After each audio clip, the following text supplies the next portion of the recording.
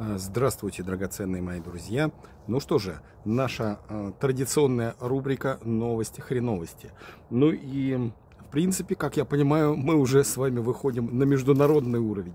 Не только новости нашей многострадальной, эм, нашего многострадального государства, державы, Россиюшки, матушки, но и новости зарубежных, зарубежных таких привлекают внимание, друзья мои.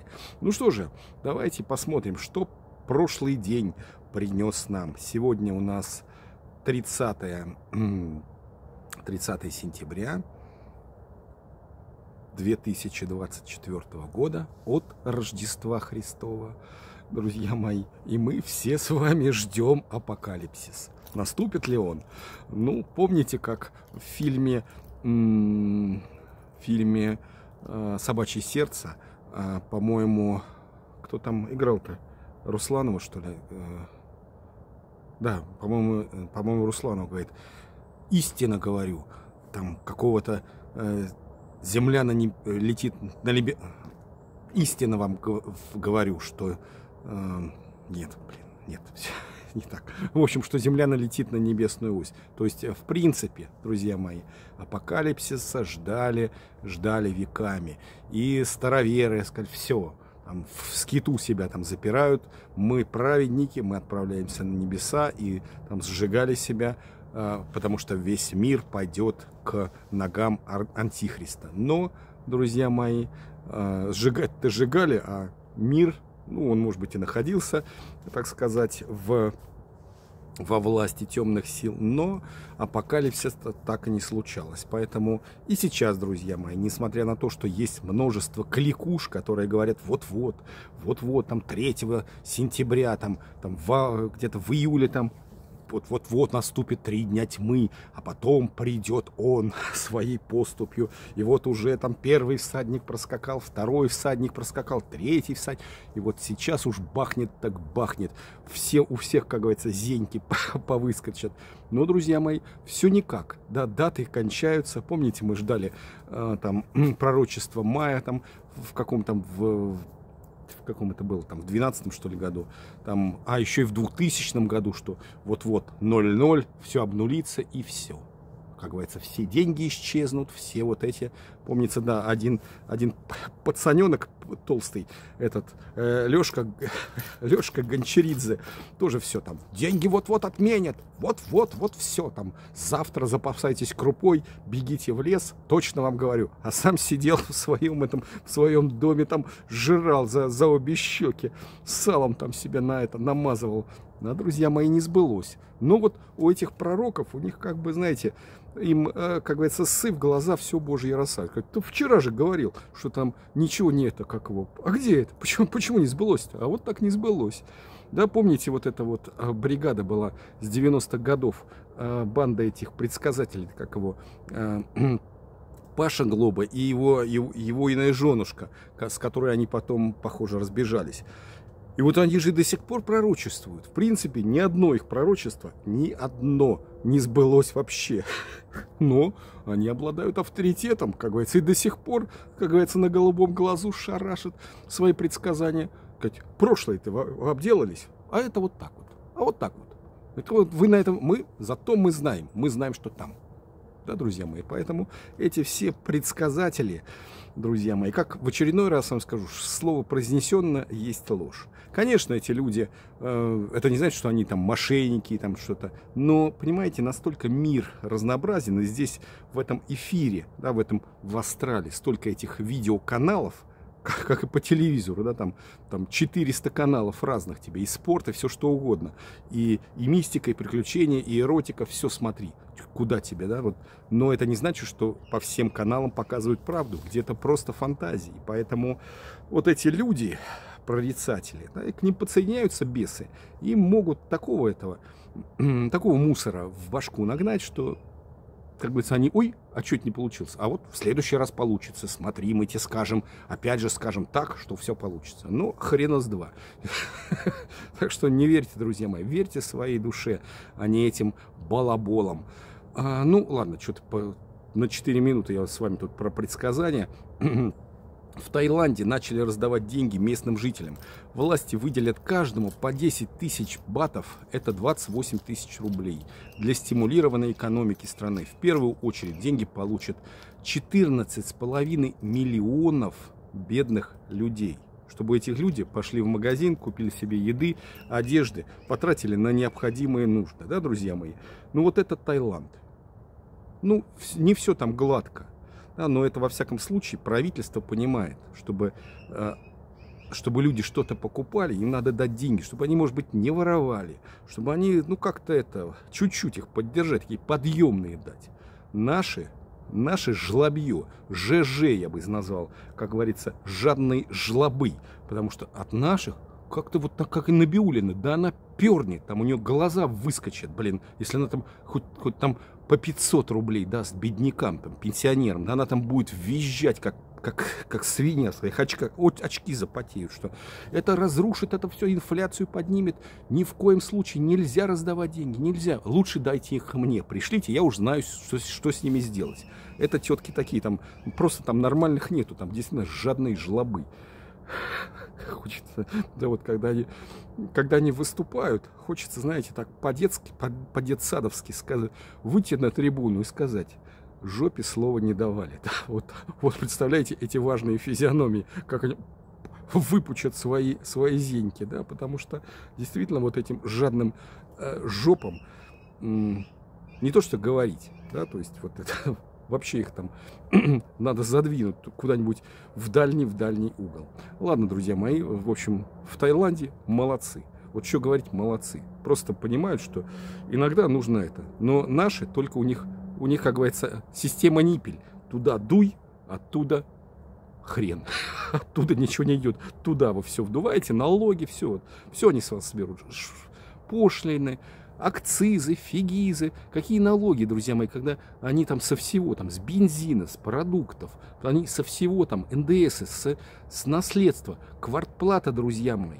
Раньше за, такую, за такие деньги можно было квартиру снимать. То есть мы сейчас свое жилье, считай, у государства снимаем.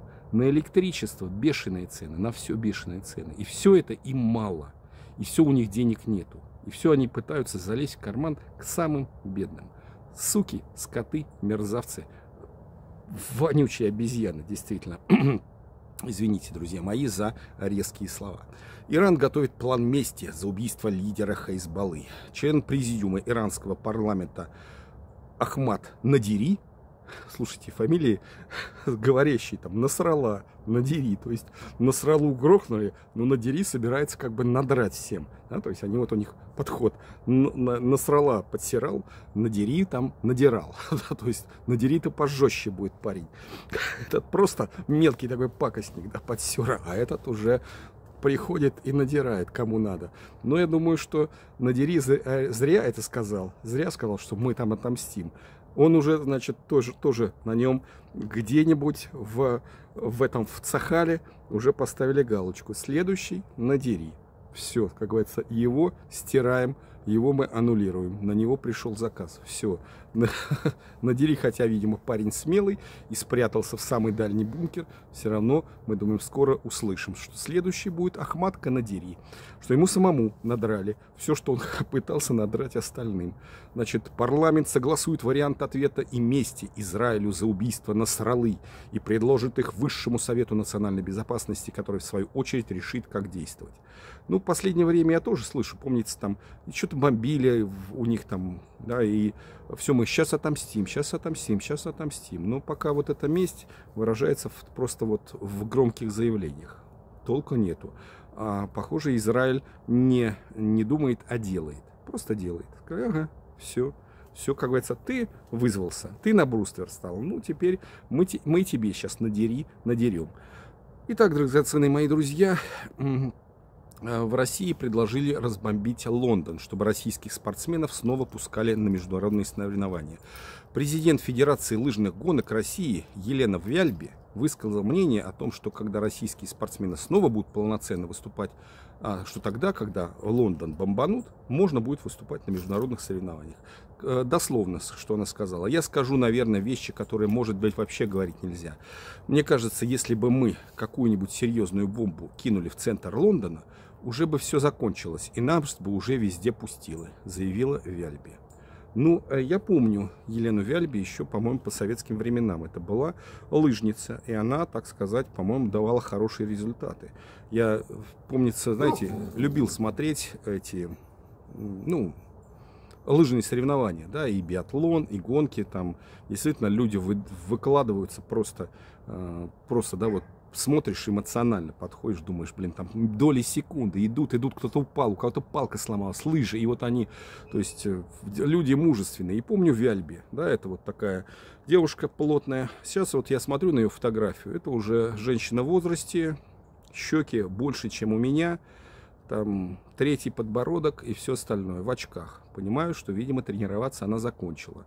То есть она стала спортивным этим чиновником. То она была спортсменкой, которая на своих плечах, на своих ногах. Так часто бывает, друзья мои, если человек бросает заниматься, ну, если он все время занимается спортом и бросает, начинает распирать. Ну, а я это знаю, друзья мои, по себе. Как только прекращаешь нагрузки, начинаешь тут же, тут же прибавлять, даже если, в общем-то, ну, как бы не ешь много, да, соблюдаешь диеты, просто э, отсутствие таких серьезных физических нагрузок сказывается. Поэтому уж если стал спортсменом, то значит тяни до конца, то, до там до конца. Иди, иди, бегай, поднимай. Ну, что делать? Это только на себе можно понять, друзья мои. Ну, что же я могу сказать? Печально, печально. Вот я, честно говоря, у меня о Елене Вяльбе было такое вот хорошее чувство, что это спортсмен. Но вот это понимаешь, что э, и возраст, и спортивное положение ума ей не, не, это, не прибавили. И она считает, что если там накидать бомбы куда-нибудь там в Лондон, в Вашингтон, что тут же прямо начнут приглашать на соревнования, и все будет по-прежнему, будут международные соревнования, подсчет уважения, золотые медали. Мне кажется, наоборот. Наоборот, это эм, потому что бомба туда означает бомба сюда.